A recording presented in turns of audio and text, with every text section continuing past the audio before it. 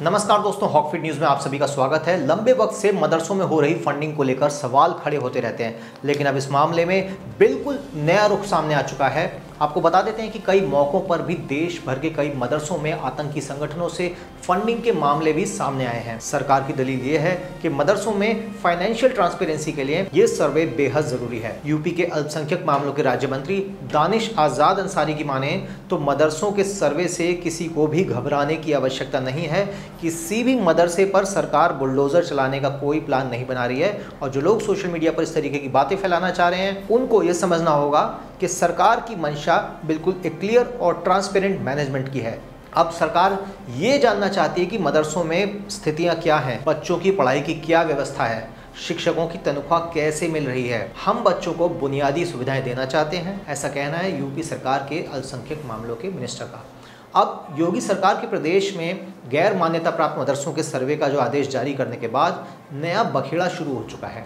एक तरफ़ जहाँ विपक्ष और कुछ मुस्लिम संगठनों ने सरकार की नीयत पर सवाल खड़े करे हैं तो वहीं सरकार इसे मदरसों और उनमें तालीम लेने वाले बच्चों के हित में बता रही है। अब आखिर सवाल यह है कि योगी सरकार को मदरसों के सर्वे की ज़रूरत क्यों पड़ी? क्या इसमें कोई राजनीतिक स्वार्थ छिपा हुआ है या फिर कोई और वजह दरअसल, लंबे वक्त से मदरसों में हो रही फंडिंग को लेकर सवाल खड़े होते रहे हैं और कई मौकों पर देश भर के कई मदरसों में आतंकी संगठनों से फंडिंग के मामले भी सामने आए अब अगर सरकार की मंशा सही है तो फिर बवाल क्यों मचा है? तो आपको बता देते हैं कि यूपी में करीब सोलह हज़ार से भी ज़्यादा गैर मान्यता प्राप्त मदरसे हैं, जो कि सरकार से फंड नहीं लेते, बल्कि चंदे या फिर धार्मिक संगठनों की मदद से चल रहे हैं। आप जानते हैं कि भारत में सऊदी से लेकर तमाम कई ऐसे देश हैं, जो इस्लाम के नाम पर भारत के अंदर शिक्षा देने के लिए कई मदरसों को फंडिंग करते हैं, और कई बार उनके क्या नतीजे निकले हैं, वो आपने कई आतंकवादी घटनाओं में भी देखे हैं। अब इन मदरसों में कई लाख बच्चे भी तालीम लेते हैं तंजीम उलेमा इस्लाम के राष्ट्रीय महासचिव मौलाना शहाबुद्दीन रिजवी बरेलवी का कहना है,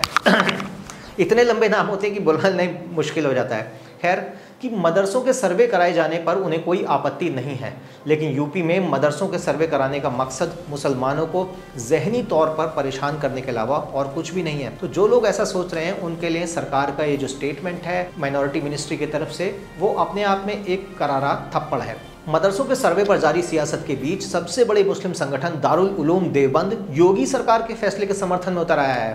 अब दारुल उलूम ने मदरसों के सर्वे के फैसले को बिल्कुल सही ठहराते हुए इसे मदरसों के हित में बताया है। यानी मदरसे भी अब योगी जी के रंग में रंगने वाले हैं। जब मौलाना अरशद मदनी ने भी अब समर्थन कर दिया है, कुछ दिनों पहले तक कह रहे थे कि हम ईंट से ईंट बजा देंगे, ये कर देंगे, वो कर देंगे।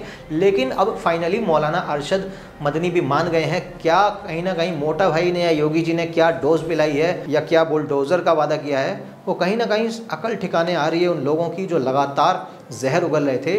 अब आपको बता देते हैं कि ज़मीयत उलेमा हिंद के अध्यक्ष मौलाना अरशद मदनी, जो सरकार के समर्थन में समय साथ खड़े नज़र आ रहे हैं, मदनी के मुताबिक अगर बात करें तो उनका कहना है कि हम सरकार के सर्वे कार्य की तारीफ़ करते हैं। तो फिर ये कौन लोग हैं जब मुस्लिम समाज के जो बड़े बड़े लीडरान हैं, वो भी अगर इसका समर्थन कर रहे हैं तो वो कौन है? कहीं ये कुछ विपक्षी राजनीतिक पार्टियों का प्रपंच तो नहीं है कि ऐसा कदम उठाने के बाद से उत्तर प्रदेश में जो हिंदुत्व का वोट बैंक है, वो और ज़्यादा मज़बूत होगा और उससे भी योगी को फ़ायदा होगा। अब मदरसा संचालक भी इस सर्वे में सहयोग करें, ये साफ़ साफ़ उनका कहना है, क्योंकि मदरसों के अंदर कुछ भी छिपा नहीं है और इनके दरवाजे सबके लिए हमेशा खुले हुए हैं। दरवाजे तो खुले हुए हैं, लेकिन एक बार उस मदरसे में आने के बाद फिर जो दिमाग जिस तरीके से बंद कर दिया जाता है, क्योंकि उनको साइंस की, मैथमेटिक्स की और जनरल नॉलेज की कोई बातें नहीं सिखाई जाती, सिर्फ़ दीनी और इल्मी बातें सिखाई जाती हैं तो कहीं ना कहीं उससे बच्चों का जो एजुकेशनल स्पेक्ट्रम है, वो दायरा बहुत छोटा हो जाता है। खैर, ये उनकी अपनी कम्युनिटी की बात है, वो चाहे कुछ भी पढ़ाएँ, लेकिन कुछ भी पढ़ाने के नाम पर ऐसा नहीं हो सकता ना कि कुछ भी पढ़ाएँ। आप समझ रहे मैं क्या कह रहा हूँ?